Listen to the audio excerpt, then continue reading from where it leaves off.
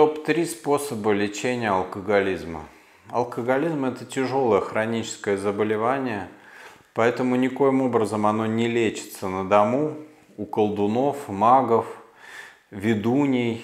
Ну, я исключаю, конечно, какие-то совсем начальные стадии и очень пугливых людей, которых можно этим испугать. Когда речь идет о формировании патологического влечения к алкоголю, первым шагом всегда должно быть госпитализация в стационар – у нас будет полный психологический профиль человека. Мы его обследуем, поймем, какие изменения произошли во внутренних органах, из каких компонентов состоит его патологическое влечение к алкоголю. Будет произведена полная очистка организма от алкоголя и продуктов его распада – будет купировано это патологическое влечение. Возможно, у кого-то депрессия, у кого-то тревога. Будет подобраны соответствующие препараты, снижающие эти негативные психические проявления. Плюс будут устранено явление эмоциональных качель, когда человек выходит, ему опять у него нарастает тяга, он становится раздражительный, злой и в конце концов срывается, выпивает к моменту окончания стационарного лечения уже у нас на руках четкая программа. Если человек не может пройти реабилитацию, у него нет времени, ему предлагается процедура, которая называется кодирование, подбираются определенные медикаменты, способы их введения в организм.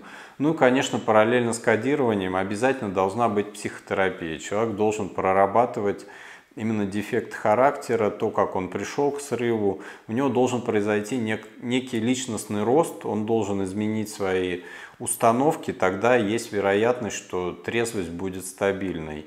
Ну и оптимальным является все-таки прохождение реабилитационного курса. Это такой интенсив, полное погружение в себя, проработка всех дефектов, индивидуальная, групповая психотерапия, дневник самоанализа, отработка новых моделей поведения, изменение патологических моделей, которые приводят к срыву. Поэтому вариантов очень много.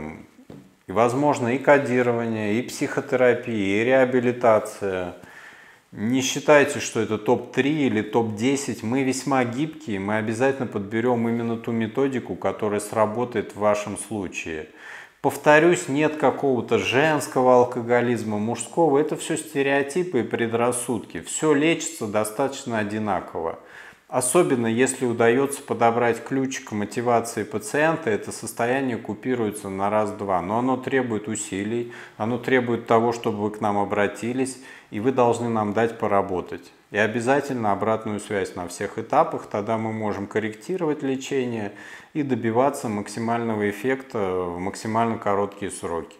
Очень часто соблазн вылечить алкоголизм самостоятельно. Если мы говорим о наличии диагноза, человек алкоголик, у него есть синдром патологического влечения к алкоголю, у него есть абстинентный синдром, у него есть признаки деградации мозга.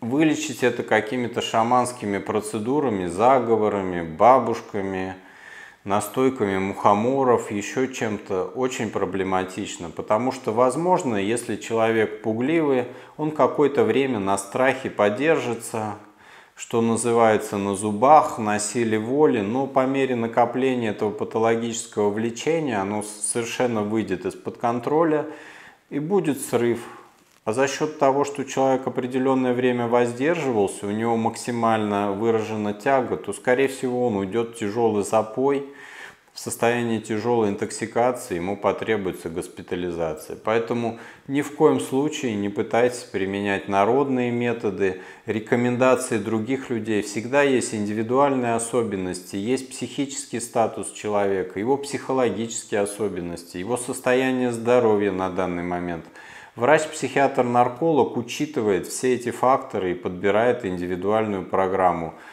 Бабушка, которая работает по стандартной схеме народной медицины, ну, вы же не будете лечить аппендицит народной медицины или еще чего-то. Ну, это нонсенс. Народная медицина хороша была вот в те времена, в 12 века, в 15 когда не было альтернативы.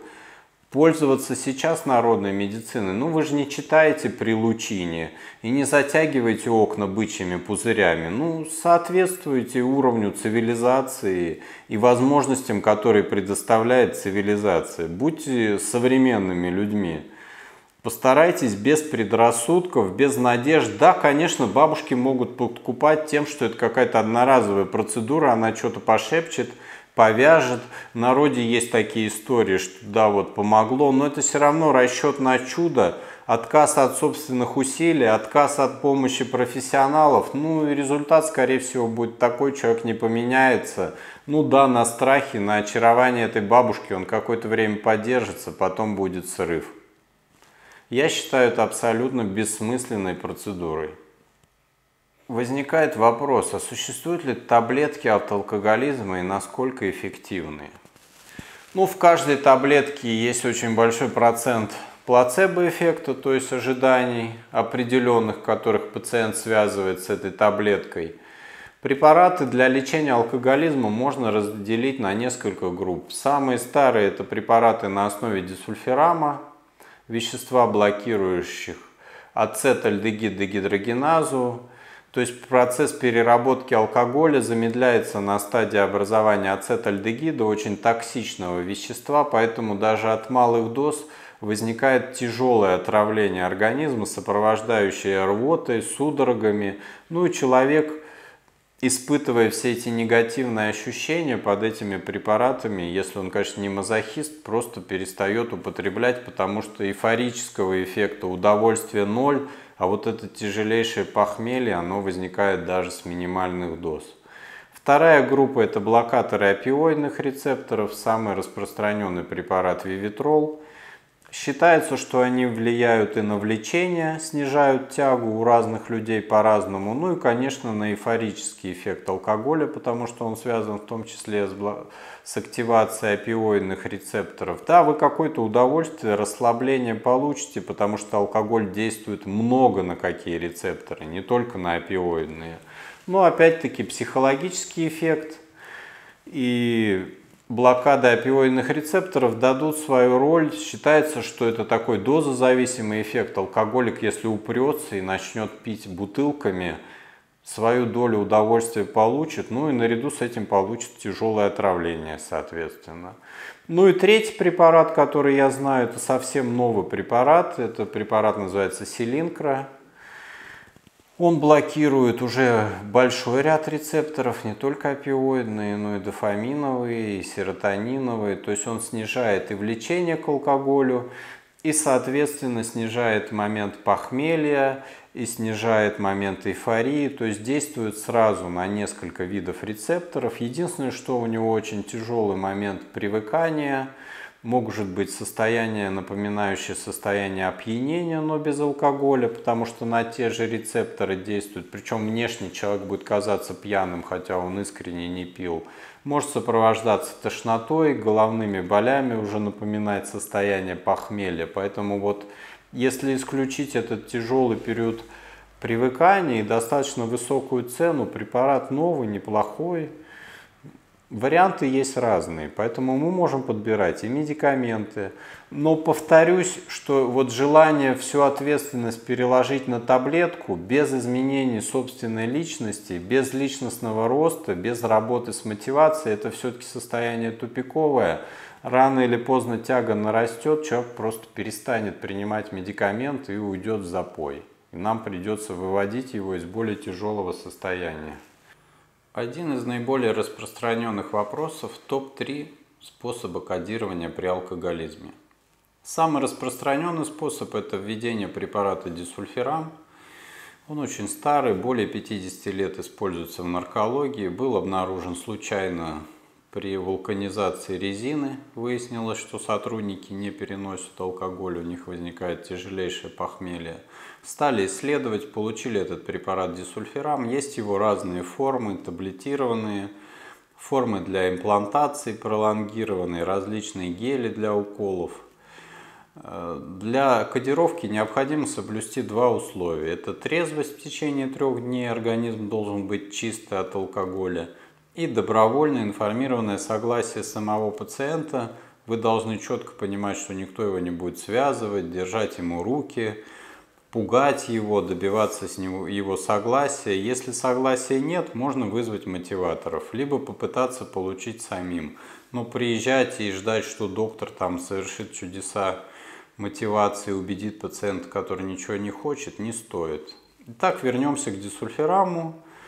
Препарат блокирует ацетальдегид-дегидрогеназу, поэтому при употреблении алкоголя происходит накопление ацетальдегида, очень токсичного вещества, и человек испытывает тяжелейшее похмелье. Его рвет, трясет, вплоть до судорог. И, естественно, вырабатывается отрицательный рефлекс, и в дальнейшем уже даже небольшие дозы, даже уже без действия этого дисульфирама рефлекторно вызывают тяжелую реакцию отторжения. Поэтому препарат можно использовать всем, Противопоказаний нету. Единственное, что если уже тяжелые нарушения функции печени, есть препарат лидевин, где дисульфирам комбинируется с витамином В6, улучшающим метаболизм печени, либо параллельно назначаются дополнительные препараты, улучшающие функцию печени.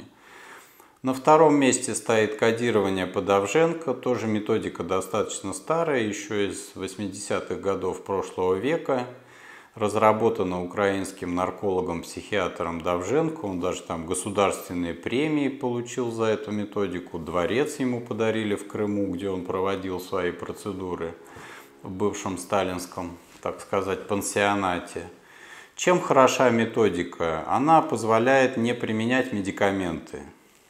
То есть отбирается группа внушаемых людей. Повторюсь, тут основной компонент, что пациент был внушаемый, ему удалось внушить волю доктора. Создается определенный антураж, проводится психологическая обработка и в трансовом состоянии уже там рот обрабатывается хлорэтилом, надавливается на определенные болевые точки, делается определенная установка от доктора. Ну и в ряде случаев достаточно удается добиться длительной ремиссии с воздержанием от приема алкоголя. Ну и на третьем месте такой препарат, как Вивитрол, блокатор опиоидных рецепторов, это совсем, можно сказать, нововведение в наркологии.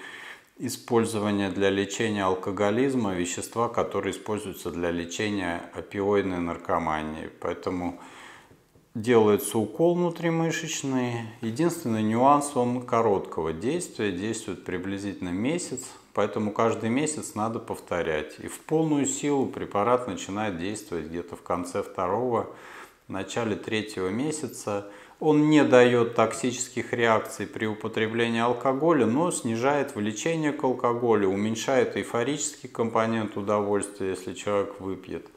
Ну, дает такую мягкое, мягкую заместительную терапию. В общем, это три самых распространенных способа кодирования. В случае дисульфирама или Давженко, вопрос о сроках решается индивидуально с пациентом. Ну, считается оптимальным срок в районе года. Более длительные сроки считаются психологически необоснованными, и пациенту просто очень тяжело настроиться на более длительное воздержание от алкоголя. Алкоголизм – это хроническое прогрессирующее заболевание, которое без лечения приводит к полному распаду личности и к тяжелой инвалидизации и смерти – Обязательно участие наркологов, потому что воли пациента хватает только на очень начальных этапах. Если мы говорим уже о диагнозе алкоголизм, если сформировалось патологическое влечение к алкоголю, абстинентный синдром, признаки алкогольной деградации мозга, то только профессионалы смогут осуществить этапное лечение с гарантированным результатом.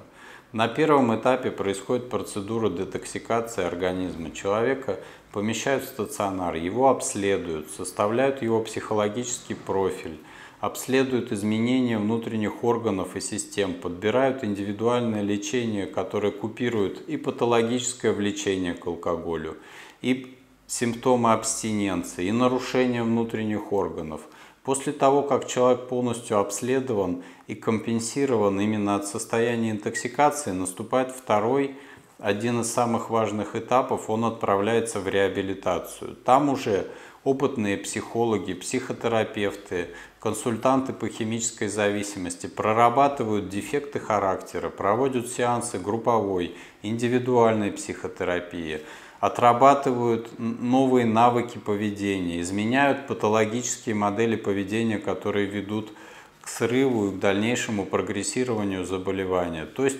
меняют человека на уровне его убеждений, внутренних установок, я-концепции. Именно в реабилитации происходит определенный личностный рост, который меняет человека и закладывает фундамент для долгосрочной трезвости.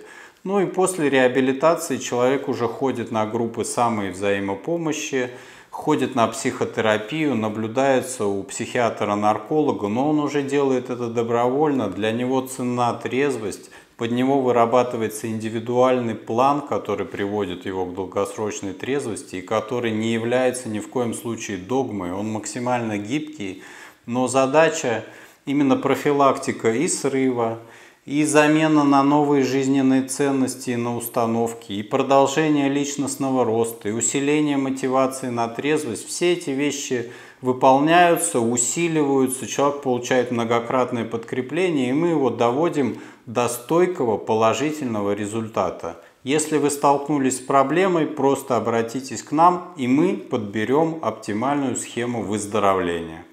Если у вас остались вопросы по теме алкоголизм, Позвоните на нашу круглосуточную горячую линию, мы ответим на все эти вопросы. Более того, мы помогли тысячам, поможем и вам. Данное видео снято для сайта страна против наркотиков.ру